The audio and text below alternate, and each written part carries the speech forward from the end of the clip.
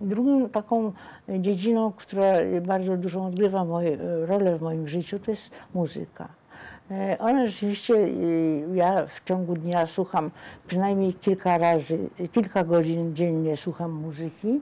To jest, jak to się nazywa, muzyka poważna, bo się po prostu, ona mnie najbardziej pociąga i daje mi najwięcej satysfakcji. E, Ale mm, no, słucham przez kilka godzin, ale muszę powiedzieć, że uważnie słucham rzadko. Bo jak mówił, powiedział kiedyś Lutosławski komuś jakiemuś słuchacze, ty słuchasz, ty słuchasz, słuchasz, ale nie słyszysz. Bo po prostu ta muzyka gra, ja słucham jakby, ale nie słyszę, bo nie mogę sobie wyobrazić chwili budowy tego.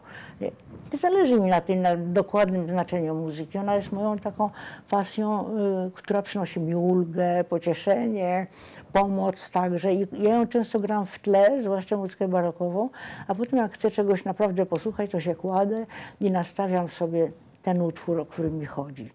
Y, Więc y, ten, y, także w mojej poezji jest naprawdę co najmniej kilkanaście wierszy, jeśli nie więcej, poświęconych muzykom i muzyce. Jeśli chodzi o muzykę współczesną, no to niestety należę do tych ludzi, którzy małą satysfakcję odnoszą ze słuchania tej muzyki, to znaczy, że, że ja jej jak gdyby do końca nie mogę pojąć. E, A nie wynika to bynajmniej z jakichkolwiek moich uprzedzeń, e, bo jestem bardzo za tym, żeby nowe rzeczy się pojawiały w sztukach. Natomiast jestem troszeczkę zaintrygowana tym, jak to się stanie, czy rzeczywiście muzyka klasyczna odejdzie na drugi plan. Na pewno nie. A wysuną się ci, którzy, którzy dzisiaj, dzisiaj komponują.